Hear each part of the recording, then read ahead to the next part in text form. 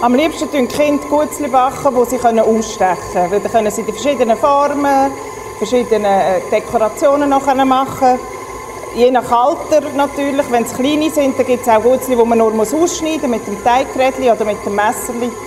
Also muss man ein bisschen darauf schauen, wie alt das Kinder sind und wie im Fest dass man ihnen helfen muss. Dann kommt es darauf an, ob man vier gerade hat aufs Mal, die mithelfen oder nur eins.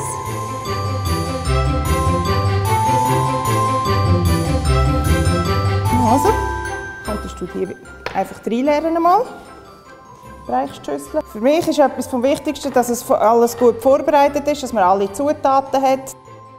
Jetzt noch das Mehl, das sind 500 Gramm, ich habe sie schon abgewogen. Ich tue die gerade selber rein. Das schreibt so ein bisschen. Und zu guter Letzt kommt noch eine Prise Salz rein. Dann mischen wir die alle Sachen noch einmal mischen.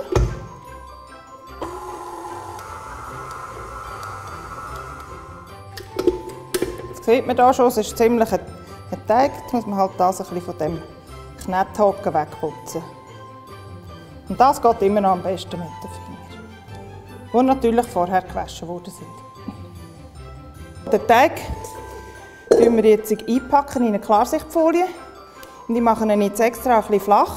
Weil wenn er flach ist, dann wird er viel schneller durchgekühlt. Dann müssen wir nicht so lange warten, bis wir anfangen können. jetzt gibt es etwas zum Abschlecken, die, die probieren wollen. Die meisten haben die rohen Gutzli manchmal fast lieber wie die gebackenen. Packen wir einmal aus dieser Folie raus. Und jetzt, was braucht es für auf den Tisch, dass es nicht klebt? Genau. Also, dann tue ich hier mal ein bisschen den Tisch bemehlen, dass der Teig nicht klebt, dass man gut kann, nachher die Gutzli wieder aufs Blech legen kann. So haben wir unsere Teighölzchen, die gerade die Höhe der Gutzli noch anzeigen können. Jetzt kann man mit dem Wallholz, kannst du mal kommen, Noah, kannst du mal drüber fahren. Es sollte einfach so sein, dass die Teighölzchen in der Breite etwa vom Wallholz sind. Und einfach so lange wallen, du musst halt vielleicht am Wallholz auch noch ein bisschen Mehl machen. Bekannteste Klassiker sind so Brunsli, Zimmersterne, Spitzbuben, Vanillegipfeli, Schokokugeln. Und die, die wir hier gerade machen, das Mailänderli. Das ist eigentlich das bekannteste und beliebteste, wo fast jeder Haushaltung, die selber gegutzelt wird, kommen die an der Weihnacht auf den Tisch. Du hättest den Schüttler wählen und der ist schon besetzt. Schau, jetzt, schau, wenn wir ein bisschen weit unten gehen, suchen. Hä?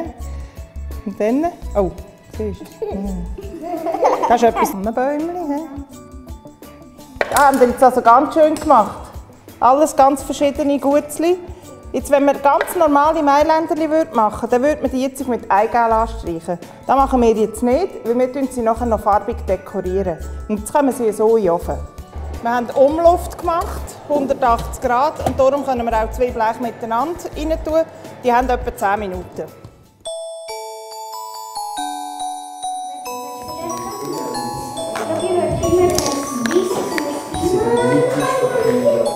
sind höchst konzentriert. Oder eben mit den Zuckerschriften kann man schreiben. Ja, wie mit dem Leim, genau gleich.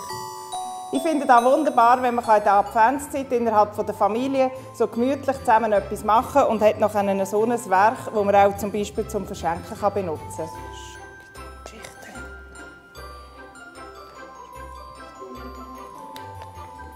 Ich schon so ein Kunstwerk machen mit dieser Locke.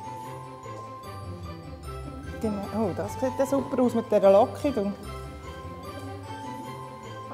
Wunderbar, was ihr hier gemacht habt.